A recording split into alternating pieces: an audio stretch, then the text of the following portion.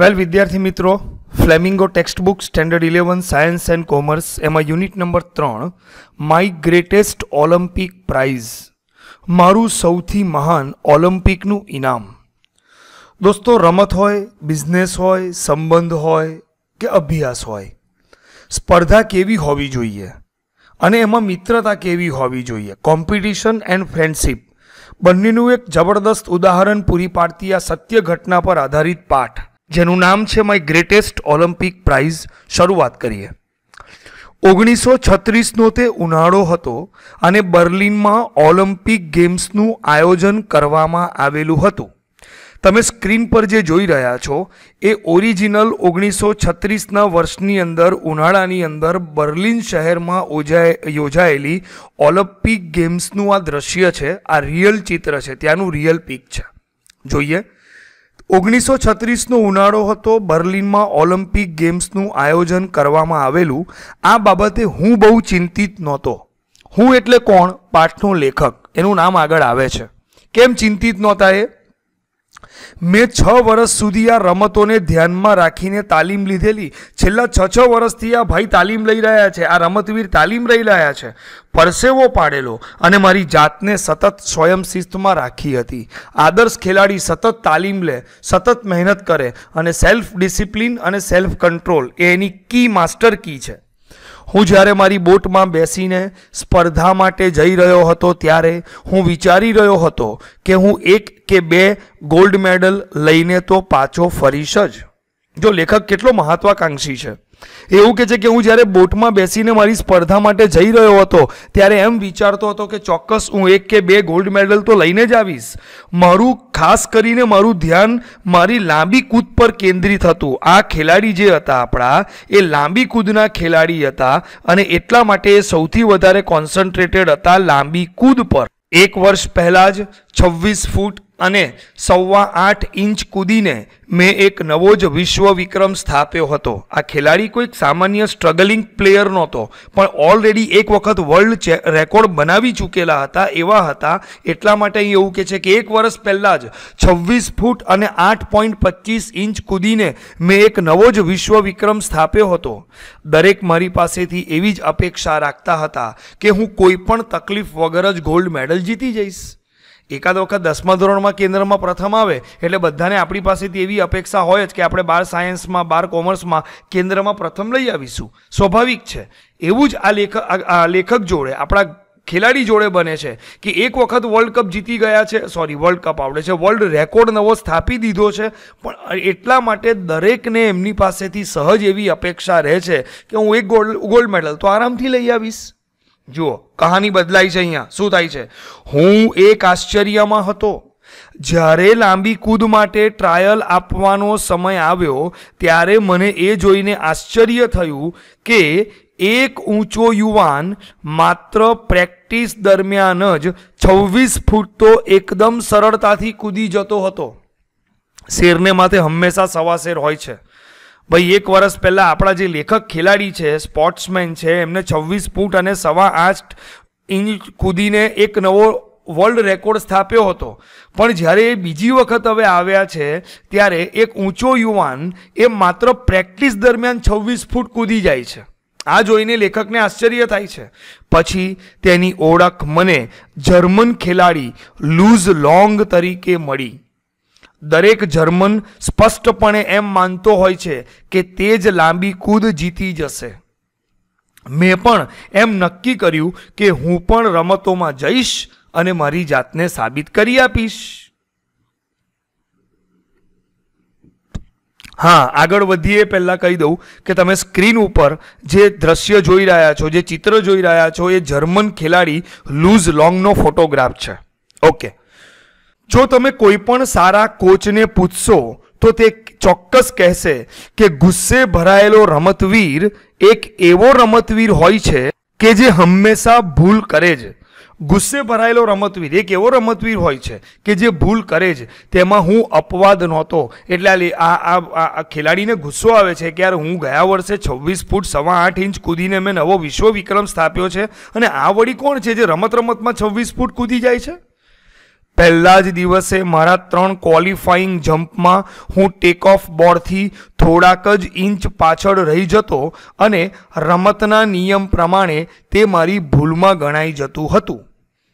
બીજા જમ્પ વખતે મારો દેખાવ વધારે ખરાબ નીવડ્યો, મને ગુસ્સાપૂર્વક ચીડ ચડી અને વિચાર આવ્યો કે હું અહીંયા, હું અહીં ત્રણ હજાર કિલોમીટર દૂરથી આવો નબળો અને શુષ્ક દેખાવ કરવા આવ્યો છું.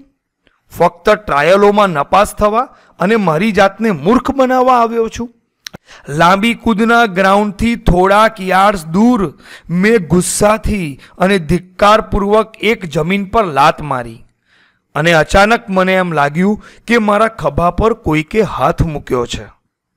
હું જોવા માટે પાછું ફર્યો અને તે જર્મન લાંબી કૂદના ખેલાડીની ભૂરી આંખોમાં મને મૈત્રી ભાવ દેખાયો. હવે પાઠની અંદર બરાબર ટ્યુનિંગ બેઠું.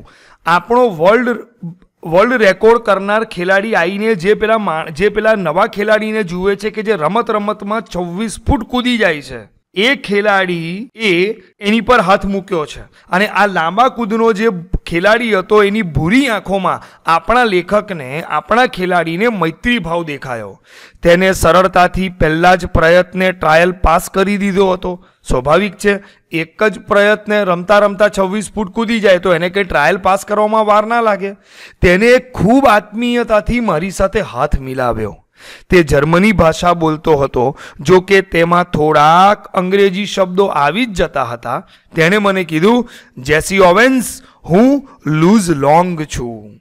એટલે આપણા લેખકનું નામ છે જેસી ઓવેન્સ અને જે પેલો ખેલાડી છે, રમત રમતની અંદર કૂદી જતો હતો, એનું નામ હતું લૂઝ લોંગ. સ્ક્રીન ઉપર તમે બંનેનો ભેગો ફોટો જોઈ શકો છો. જે દ્રશ્ય અત્યારે તમે સ્ક્રીન પર જોઈ રહ્યા છો, એ છે જેસી ઓવેન્સ અને લૂઝ લોંગનું છે. ઓકે આગળ વધીએ. મેં કીધું, તને મળીને મને આનંદ થયો. અને પછી મેં મારી નિરાશાને છુપાવવાનો પ્રયત્ન કરતાં તેને પૂછ્યું કે, તું કેમ છે? મને જવાબ મળ્યો કે હું તો મજામાં જ છું. પ્રશ્ન એ છે કે તું કેમ છે? મેં એને પૂછ્યું, તારો કહેવાનો અર્થ શું છે? જ્યારે વિદેશી લોકો સ્વાભાવિક ભાષામાં જેમ ચીપી ચીપીને બોલતા હોય, તે રીતે તેણે મને કહ્યું કે ચોક્કસ, તને કોઈક વાત હેરાન પરેશાન કરી રહી છે. ખરેખર તું સરળતાથી ટ્રાયલમાં સફળ થઈ જવો જોઈતો હતો. મેં તેને કીધું કે મારી વાતને સમજ. મને તે ખબર છે અને કોઈકને આવું કહીને મને ખરેખર સારું લાગ્યું. આગામી થોડીક મિનિટો સુધી અમે સાથે ચાલ્યા અને મેં લૂઝ લોંગને કહ્યું નહીં કે કઈ બાબત મને હેરાન પરેશાન કરી રહી હતી, પણ મને એમ લાગ્યું કે તે મારા ગુસ્સાને ખરેખર સમજી રહ્યો હતો અને મને ખાતરી કરાવવા તે તકલીફ પણ ઉઠાવી રહ્યો હતો. તે મારા ગુસ્સાને સમજતો હતો અને મને ખાતરી કરાવવા તકલીફ પણ ઉઠાવી રહ્યો હતો. મારા કરતાં તે એક ઇંચ ઊંચો હતો. તેના સ્નાયુઓ મારા કરતાં દુબળા હતા. સુંદર વાળ અને એકદમ આકર્ષક ચહેરો. છેવટે, જ્યારે તેને ખ્યાલ આવ્યો કે હું શાંત થઈ ગયો છું, ત્યારે તેણે મને ટેક ઓફ બોર્ડ તરફ ઈશારો કર્યો. જે જ્યાંથી કૂદવાનું હોય ને એ ટેક ઓફ બોર્ડ મેં તમને કીધું કે આગળ આવી ગયું ટેક ઓફ બોર્ડ તે બોલ્યો, જો તું પેલા બોર્ડની સહેજ પાછળ શા માટે તારી પોતાની નક્કી કરેલી એક લીટી નથી દોરતો? અને તેમ કરીને ત્યાંથી જ તારું ધ્યેય કેમ નિશ્ચિત નથી કરતો?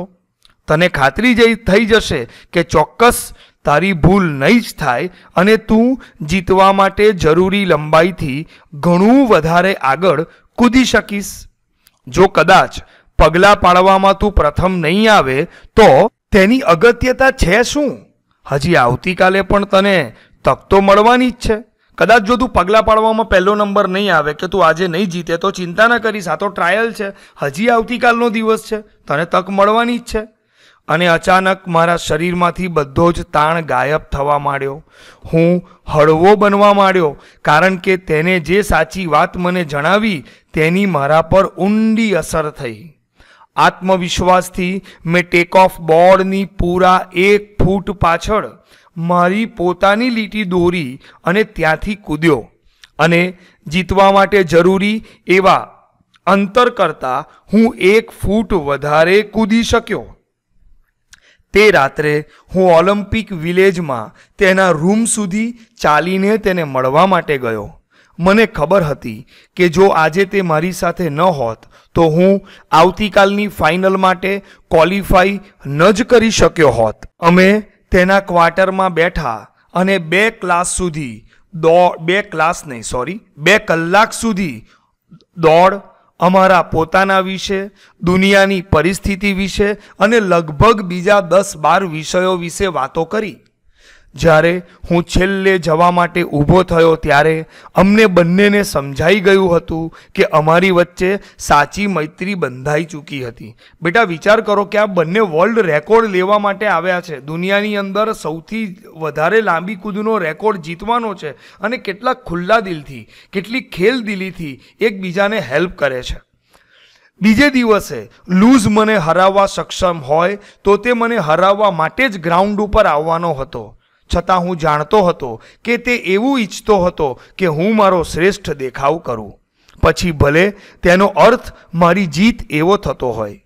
જેવો તે બીજા દિવસે ગ્રાઉન્ડ ઉપર આવ્યો કે આમ કરવામાં તેણે તેનો પોતાનો જૂનો રેકોર્ડ તોડી જ નાખ્યો અને મને મારા શ્રેષ્ઠ દેખાવ માટે પ્રોત્સાહન પણ આપ્યું. મને યાદ છે કે જેવો હું ફાઇનલ જમ્પ માટે કૂદીને બહાર આવ્યો કે જેમાં મેં ઓલિમ્પિકનો સર્વોચ્ચ રેકોર્ડ છવ્વીસ પોઈન્ટ પાંચ ફૂટ ઉપરાંત પાંચ પોઈન્ટ સોળ ફૂટ પાંચ પોઈન્ટ સોળ ઇંચનો કૂદકો લગાવી તે રેકોર્ડ પણ તોડી નાખ્યો હતો. તે તરત જ મને મળવા આવ્યો. આખું સ્ટેડિયમ સ્ટેન્ડમાંથી અમારી તરફ જ તાકીને જોયા કરતું હતું અને છતાં તે મને મળવા આવ્યો. લૂઝ લોંગે મારો હાથ જોરથી દબાવીને હસ્તધૂનન કર્યું. અને મને ખબર છે કે તૂટેલા હૃદયનું અને અનિચ્છાએ કરેલું એ બનાવટી હસ્તધૂનન ન હતું. એનો કટ્ટર સ્પર્ધક હતો. બંને એક જ રમતમાં જીતવા માટે દમદાર પ્રયત્ન કરી રહ્યા હતા. તન તોડ મહેનત કરી હતી. અને છતાં એક પ્રતિસ્પર્ધક બીજા સ્પર્ધકને દર્શાવે છે અને સામેવાળો જીતી જાય છે. અને ત્યારે પોતે હારી ગયા હોય ત્યારે સામેવાળી વ્યક્તિને ખૂબ હૃદયપૂર્વક શુભેચ્છાઓ આપવી એ બહુ બહુ હિંમતવાળું કામ છે બેટા. જે ખરેખર લૂઝ લોંગે કરી બતાવ્યું.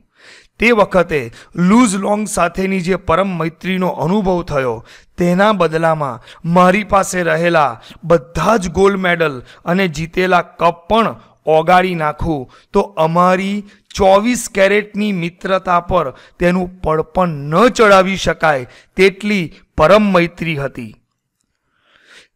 લેખક કેટલી સરસ વાત કરે છે અહીંયા. એવું કહે છે કે બધા જ ગોલ્ડ મેડલ એના ચરણે મૂકી દઉં ને તો પણ અમારી મૈત્રી એટલી ચોવીસ કેરેટની પ્યોર હતી. અમારી મૈત્રીમાં એટલી નિખાલસતા હતી, એટલો સમર્પણ ભાવ હતો કે એની પર એનું પડપણ ના ચડાવી શકાય. એટલા માટે લેખક બહુ સરસ શબ્દ વાપરે છે, પરમ મૈત્રી. વાહ. ખૂબ સરસ શબ્દ. તે વખતે મેં એવો પણ અનુભવ કર્યો કે કદાચ ઓલિમ્પિકના સ્થાપક પાયરડે કોબેરટીન એના સ્થાપક પાયરડે કોબેરટીન છે, ગ્રીક દેવતા ઝેઉસની યાદની અંદર ઓલિમ્પિકનો રમતોત્સવ ઉજવાય છે. તમને ખબર જ હશે, ક્યારેક એનો ઇતિહાસ વાંચજો, બહુ ઇન્ટરેસ્ટિંગ છે. ઓલિમ્પિકના સ્થાપક પાયરડે કોબેર્ટિન કહેતા હતા કે ઓલિમ્પિક રમતોમાં જીતવું નહીં પણ ભાગ લેવો અગત્યનો છે. જીવનમાં જીતવું અનિવાર્ય નથી હોતું, પણ પૂરા જોશથી લડત આપવી તે જ અનિવાર્ય હોય છે. તે કદાચ આ જ પવિત્ર ઉદ્દેશથી ઓલિમ્પિકની શરૂઆત કરી હશે કે જેનું આદર્શ ઉદાહરણ આજે લૂઝ લોંગે પૂરું પાડ્યું છે. બહુ જ સરસ પાઠ. સાચી મિત્રતા કેવી હોય, સ્પર્ધા કેવી રીતે કરી શકાય ખેલદિલી કેવી હોઈ શકે, અને આ કોઈ કાલ્પનિક ઘટના નથી. સત્ય ઘટના પર આધારિત પાઠ આપણો. માય ગ્રેટેસ્ટ ઓલિમ્પિક પ્રાઇઝ બહુ સરસ પાઠ. હજી એકાદ બે વખત આ વિડીયોને સાંભળી લેજો. પાઠ સાંભળવાની ખૂબ મજા આવશે.